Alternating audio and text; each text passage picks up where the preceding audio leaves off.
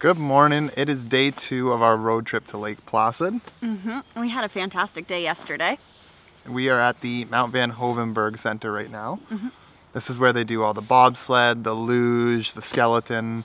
They have a skeleton experience here, which you can do too. It's just limited days through the winter. So it's a skeleton is like a luge where you're going down the track on your back, but it's reversed, so you're going down head first on your stomach. Honestly, sounds terrifying. it is pretty expensive. I think it's about 75 US dollars to do a run. So unsure if we're gonna do it. We're gonna go check it out and then we'll decide. Yeah.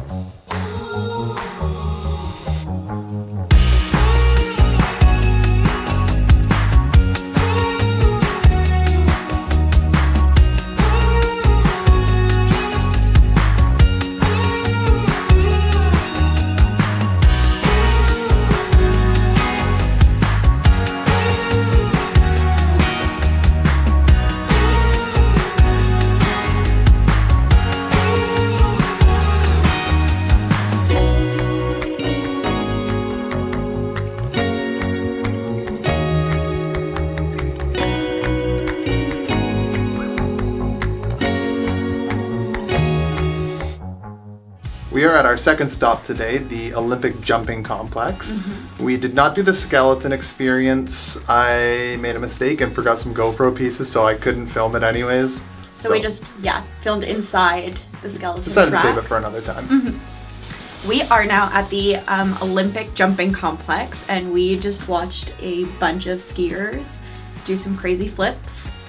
Yeah, they're doing the freestyle aerial training right now, so we get to watch it all. It's so cool. Mm-hmm. And now we are in our gondola going up to the top to see, what are these ones?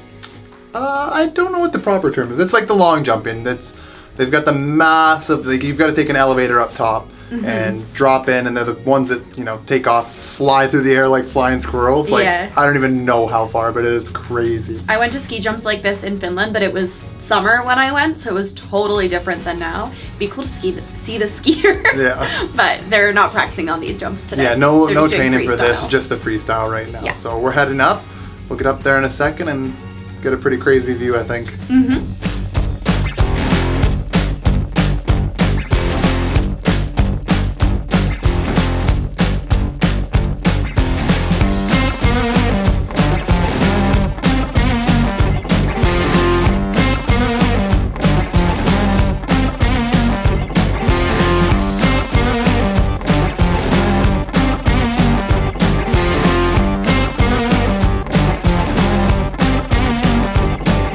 As I'm filming the massive ski complex, Mia goes, I wish I had my skis. So I think when we get up there, I'll see if I can find her a rental pair. Maybe she can.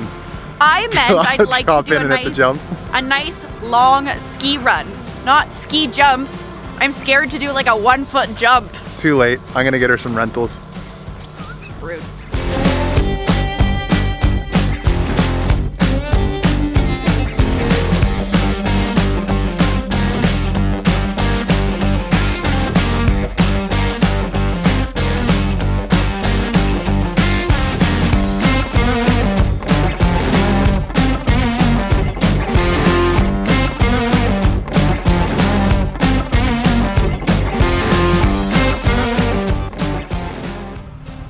Just finished up at the Olympic Jumping Complex. Mm -hmm. We are back downtown at Lake Placid.